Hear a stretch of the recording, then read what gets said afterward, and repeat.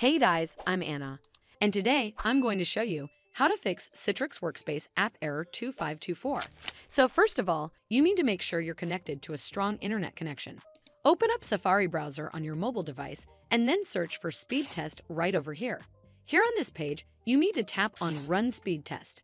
The minimum speed required for Citrix Workspace app is usually 2 to 3 Mbps. So if it's anywhere near or above this number, that's fast enough.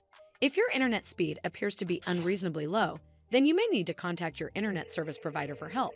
This should fix the issue, but if it doesn't, then you need to make sure you're running the latest version of the app. Open up App Store on your device, and then tap on this search icon in the bottom right corner. Then search for the Citrix Workspace app, and if you see this update button right next to the app name, simply tap on it to make sure you're running the latest version of the app. But if you still encounter this issue, then you need to clear App Cache. Go to your device settings and then scroll all the way down to General and tap on it. Then tap on iPhone Storage. From here, search for the Citrix Workspace app and then tap on it. Once you're on this screen, you need to tap on Offload app. Tap again to confirm. It'll take a bit for processing, and then a reinstall button will show up. Simply tap on it to reinstall the app. This should fix the issue, but if it doesn't, then you need to completely reinstall the app. Follow the on-screen instructions to navigate all the way to the app page.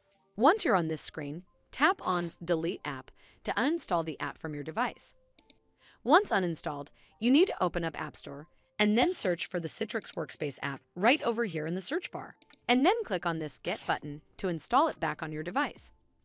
Hopefully, this will fix the issue, and if it did, then make sure you give this video a super thanks by clicking on this heart icon to help support the channel, and don't forget to hit that subscribe button.